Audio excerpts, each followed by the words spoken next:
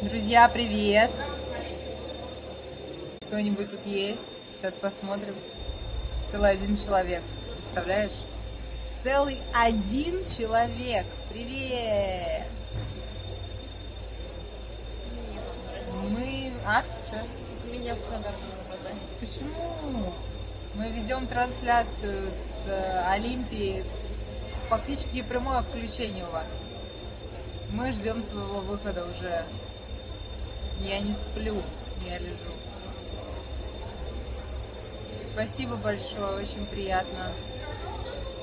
Вон Юля, она, правда, попросила ее не снимать, но я краем глаза.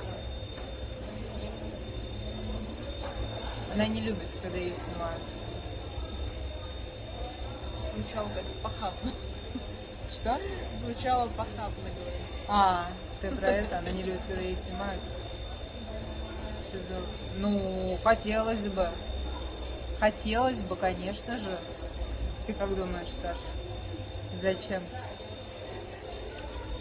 Вот. Я с Юлей лежу, но Юля эм, не хочет, чтобы ее снимал телефон. Поэтому кто делал мейк?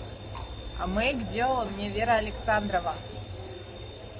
Она делала мне мейк. Тебе привет от Кочеткова. Тебе тоже. Тебе тоже привет.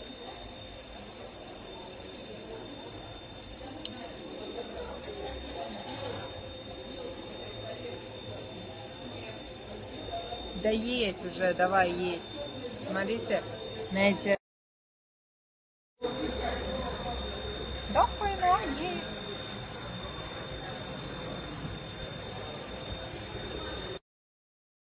И неизвестно пока, когда мы выходим, потому что там еще должны пройти другие категории. Мужские категории еще должны пройти мужской бодибилдинг. А, Бодики тоже перед нами, да? Да. Женский бодифитнес перед нами, и только потом уже пойдут бикини. Вы в холодильнике, что ли? Не, мы не в холодильнике, здесь а, э, пос- крайне редко вообще для турниров душевую кабину. Вот. И это типа как закуток, такой закуток. Там вон тусит весь народ, собираются, что-то делают. Вот. А мы тусим в этом закутке, короче. Комфортно лежать. А luxury э, апартаменты. Нам достались. Самые лучшие. Витамины пить сразу после еды или через полчаса. Как хотите, так и пейте. Обычно на всех витаминах аннотация есть, да, где написано, на, как их пить. Вместе с едой, после еды или во время еды. Везде по-разному. Можно найти, я думаю, в инструкциях по применению к витаминам.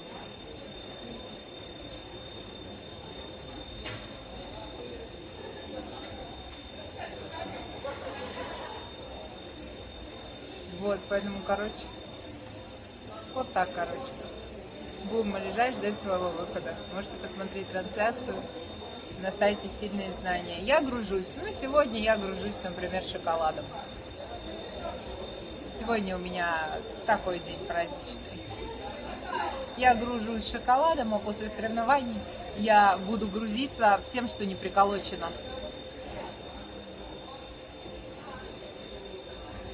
Пошли, пошли, давай как-нибудь встретимся, я только за. Спасибо.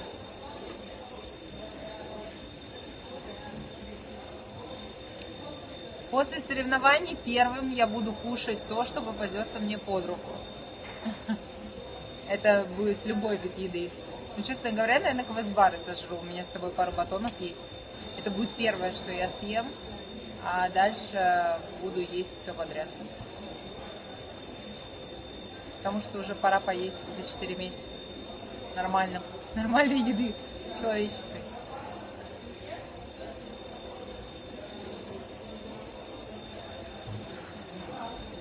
Биг Тейсти, я ненавижу Макдональдс вообще, я ненавижу бургеры в Макдональдс, потому что они отвратительные, безвкусные, просто сделанные из говна. Если уж поесть бургеры, то лучше поехать в Фарш на Никольскую.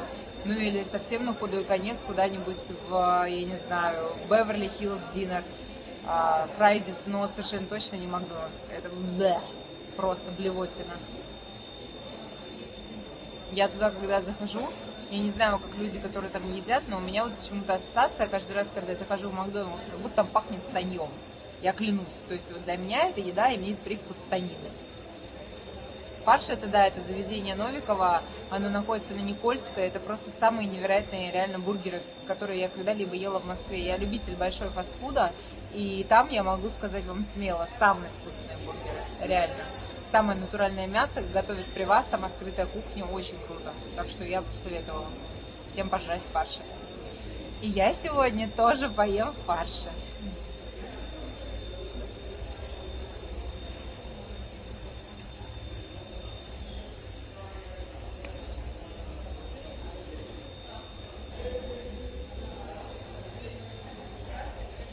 Ценовая категория на самом деле вообще средняя абсолютно. Ну, я даже не знаю, стоимость бургера, чтобы вы понимали, в принципе, в 400 рублей укладывается, 400-500 рублей. То есть, как бы это не Макдоналдс, это не такого формата место, естественно, совсем как бы недорогое. Но я считаю, что это недорого. Ну, средний чек, я не знаю, я всегда где-то набираю с учетом картошки, бургера, там какого-нибудь коктейля, у меня получается на меня одну где-то тысячи полторы, вот так. То есть, ну, это со всеми делами, это реально много купить, хорошо покушать. В принципе, так же, как и в каком-нибудь там Беверли-Хиллз Динер или в Старлайте.